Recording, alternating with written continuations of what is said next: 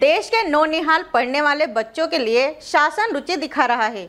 School मुख्यालय से दूर दराज रहने वाले बच्चों को साइकिल भी उपलब्ध कराने का जिम्मा शासन ने उठाया है। बावजूद इसके, देपालपुर जनपद पंचायत सीईओ माया बारिया व बीआरसी समन्वयक श्रवण शर्मा की उदासीनता के चलते बीआरसी कार्यालय में 70 से अधिक बच्चों को देने वाली साइकिल बरसात में सड़ने के लिए यूँ ही पड़ी हुई है।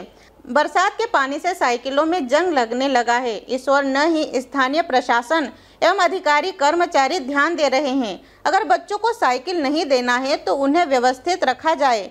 फ़ोन पर चर्चा में इंदौर डीपीएस जिला शिक्षा अधिकारी अक्षय सिंह राठौर ने बताया कि देपालपुर ब्लॉक में सभी साइकिल बढ़ चुकी है। यह साइकिलें दूसरे ब्लॉक में जाना है। शीघ्र ही भिजवाने की कार्यवाही करते हैं। देपालपुर से विशाल चांदना की रिपोर्ट। आप देख रहे हैं हमारा channel S W twenty four news हमारे सारे वीडियो सबसे पहले देखने के लिए आप हमारे चैनल को सब्सक्राइब करें और पास में लगे बेल आइकोन को दबाना बिल्कुल भी ना भूलें।